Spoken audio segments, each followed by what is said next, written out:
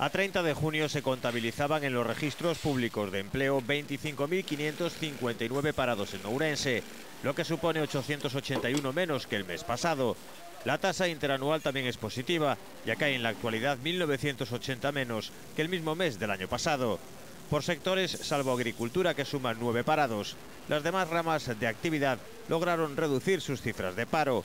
En industria hay 155 parados menos y 126 menos en construcción, aunque el motor de la contratación ha sido de nuevo el sector servicios, que tiene ahora 510 parados menos. Por lo que respecta a la afiliación a la seguridad social, Ourense ganó 347 más en junio, con lo que la cifra total es de 99.107 cotizantes al sistema.